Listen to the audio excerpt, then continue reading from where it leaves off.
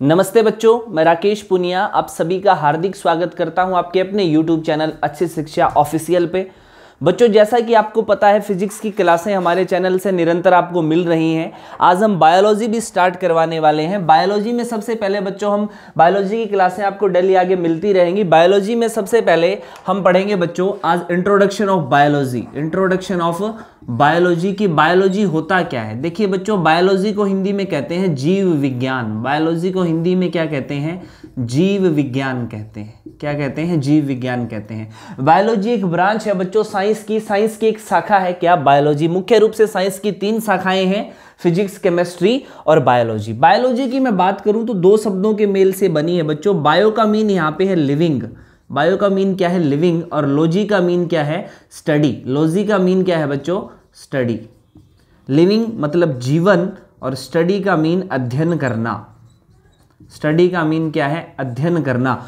जीवित प्राणियों का अध्ययन करना क्या कहलाता है? बायोलॉजी कहलाता है। Study of the living beings are called the biology वो प्राणी जो रेस्पिरेशन करते हैं, जिनमें श्वसन क्रिया होती है, वो कौन, उनका अध्ययन किस ब्रांच में किया जाता है? बायोलॉजी में। उनका अध्ययन किस ब्रांच में किया जाता है? बायोलॉजी में किया जाता है, बच्चों। यहाँ से आपसे पूछ लिया जाए कि बायोलॉजी जो है, वो किस भाषा से लिया गया शब्द है? तो आपका उत्तर होगा ग्रीक आपका आंसर क्या होगा? ग्रीक ग्रीक भाषा से लिया गया शब्द है बच्चों बायोलॉजी ग्रीक एक प्राचीनतम लैंग्वेज है और प्राचीन भाषा से लिया गया शब्द है क्या? बायोलॉजी कौन सी भाषा से? ग्रीक से लिया गया शब्द है। अब पूछा जाए आपसे प्रश्न कि who is the father of biology कि बायोलॉजी के पिता कौन है? बायोलॉजी के जनक कौन है? जीव विज्ञान के जनक कौन है? तो आपका उत्तर क्या होगा?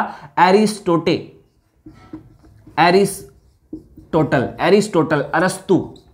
अरस्तु। अरस्तु को क्या कहा जाता है? बायोलॉजी का जनक कहा जाता है, जीव विज्ञान का जनक किसे कहा जाता है? तो आपका उत्तर क्या होगा? अरस्तु को कहा जाता है। उसके बाद बात करें बच्चों कि सबसे पहले बायोलॉजी शब्द का जो है वो यूज़ किसने किया? बायोलॉजी जो शब्द है तो लेमारक लेमारक और ट्रेनेस वेयर ट्रेने वेयर्स ट्रेनेवेयर्स और लेमार्क ने क्या किया था? सबसे पहले बायोलॉजी शब्द का यूज़ किया था, इस्तेमाल किया था। उसके बाद हम बात करते हैं बच्चों, देखिए, जिस तरीके से साइंस की तीन मुख्य ब्रांचें हैं, इसी तरीके से बायोलॉजी की भी क्या होती हैं? ब्रांचें होती हैं, शाखाएँ होती हैं। तो how many branches of the biology biology की कितनी मुख्य शाखाएँ हैं? तो हम डिस्कस करेंगे बायोलॉजी की जो मुख्य शाखा है बच्चों, वो दो हैं। दो मुख्य शाखाएँ हैं, दो मेन ब्रांच हैं बायोलॉजी की।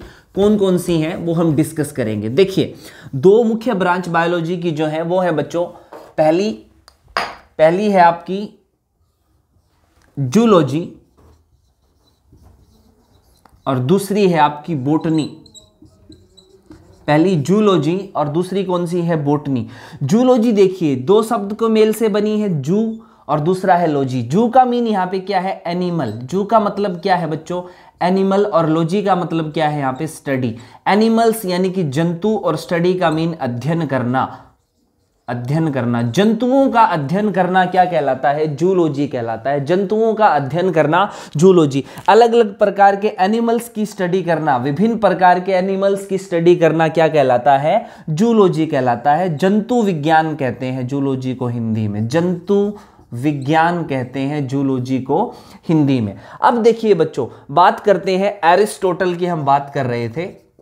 एरिस, टोटल की बात कर रहे थे कि एरिस्टोटल जो है, वो कौन है? बायोलॉजी के जनक हैं। बायोलॉजी के क्या हैं? जनक हैं। तो एरिस्टोटल ने सबसे पहले एक बुक लिखी बच्चों। सबसे पहले एक बुक लिखी और उस बुक का नाम था Historia Animalium.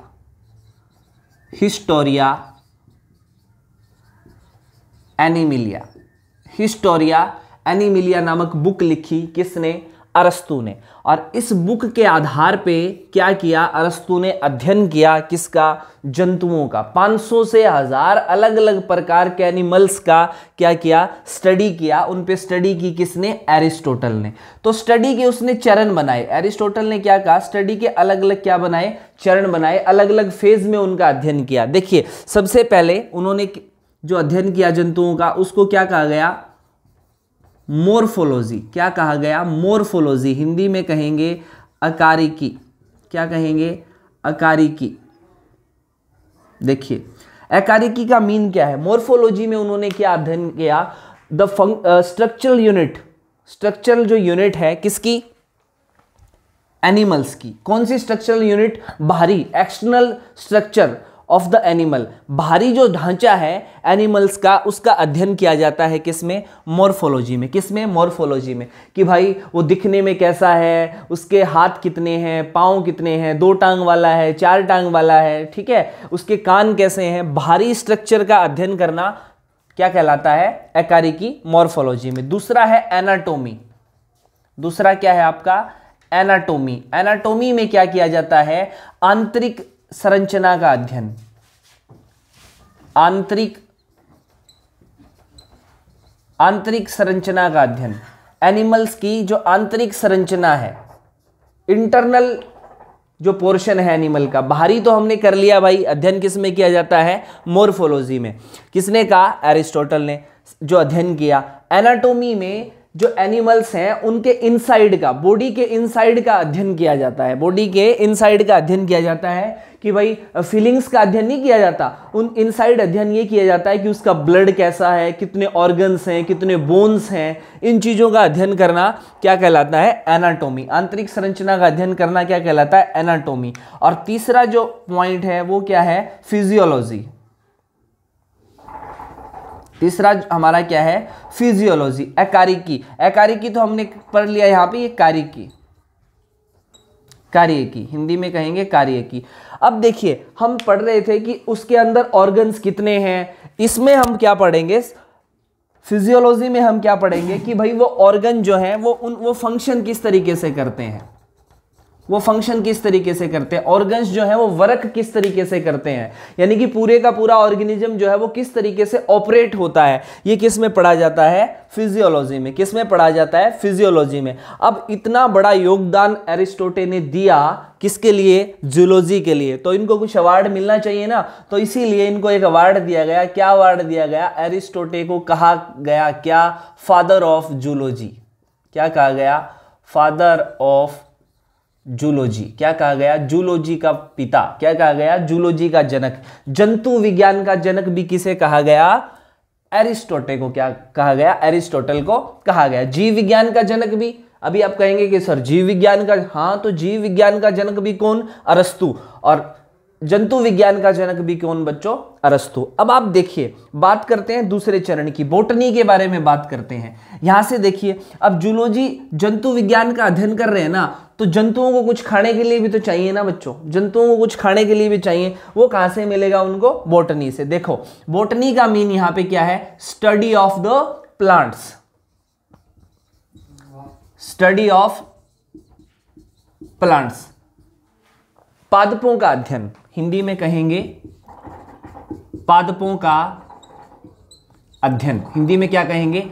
पादपों का अध्ययन। किसमें किया जाता है? बोटनी में। बोटनी को हिंदी में कहेंगे बच्चों, वनस्पति विज्ञान। क्या कहेंगे? वनस्पति विज्ञान। वनस्पति विज्ञान। तो वनस्पति विज्ञान में क्या किया जाता है? पादपों का अध्ययन किया जाता है, पौधों का अध्ययन किया जाता है अलग अलग प्रकार के जो प्लांट्स हैं, उनका अध्ययन किस ब्रांच में किया जाता है? बोटनी में किया जाता है। अब बात करते हैं एक साइंटिस्ट आए बच्चों, थ्रियोफेस्टस। एक साइंटिस्ट आए, थ्रियोफेस्टस। थ्रियोफेस्टस। थ्रियोफेस्टस। थ्रियोफेस्टस ने एक बुक लिखी बच्चों। थ्रियोफेस्टस ने एक बुक लिखी। उस बुक का नाम था N Historia Historia Plantarum Historia Plantarum Theophrastus ने एक बुक लिखी हिस्टोरिया प्लांटेरम और इस बुक में थियोफ्रेस्टस ने क्या किया? 500 से हज़ार पादपों का क्या किया बच्चों? अध्ययन किया। अलग अलग प्रजाति के 500 से हज़ार जो पौधे हैं, पादप हैं, उनका क्या किया? अध्ययन किया। और इसी तरीके से ये प्रोसेस उसने अपनाया। मॉर्फोलॉजी में पादप के बाहरी स्ट्रक्चर का अध्ययन किया। उसके बाद एनाटोमी में पादप की जो आंतरिक संरचना थी, उसके इनबिल्ट जो फ़ंक्शन थे, उनका अध्ययन किया। और उसके बाद फिजियोलॉजी में पादपों के पूरे के पूरे फ़ंक्शन की किस तरीके से वो वर्क करता है, किस तरीके से रेस्पायर करते हैं, किस तरीके से भोजन को डाइज करते हैं, किस तरीके से उनकी सेल जो है वो वर्क करती है, ये सारा का सारा किसमें पढ़ा? बोटनी की बोटनी के अंदर उन्होंने पढ़ा। किस ब्रांच में? फिजियोलॉजी में, किस ब्रांच में? फिजियोलॉजी में। तो यहाँ से पूछा जाए कि फादर ऑफ़ बोटनी कि बोटनी का जनक किसे कहा जाता है या वनस्पति विज्ञान का जनक किसे कहा जाता है? तो आपका उत्तर क्या होगा बच्चों? थ्रियोफेस्टस थ्रियोफेस्टस थ्रियोफेस्टस को क्या कहा जाता है? बोटनी का जनक कहा जाता है। तो हमने जूलॉजी का जनक किसे कहा जाता है? एरिस्टोटल को। बोटनी का जनक किसे कहा जाता है? थ्रियोफेस्टस को। बोटनी पे बुक किसने लिखी? थ्रियोफेस्टस ने। कौन सी लिखी? हिस्टोरिया प्लांटेरम और इस हिस्टोरिया प्लांटेरम में इन्होंने अध्ययन किया कितने पादपों का? 500 से हज़ार पादपों का। और इधर हिस्टोरिया एनिमालिया नामक की बुक लिखी किसने? एरिस्टोटल ने। और एरिस्टोटल ने अध्ययन किया 500 से हज़ार जंतुओं का, बच्चों।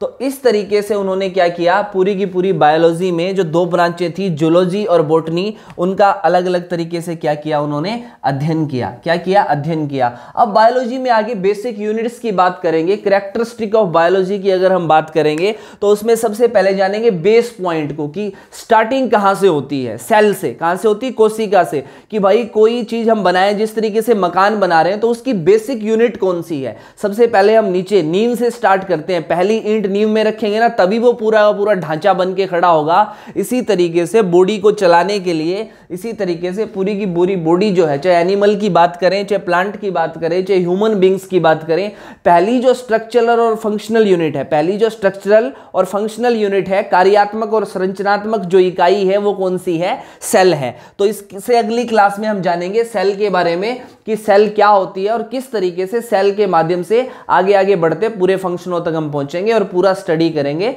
जूलॉजी और बोटनी का। और आज की क्लास में इतना ही बच्चों, हँसते रहिए, मुस्कुराते रहिए, खुश रहिए। जय हिंद, जय भारत।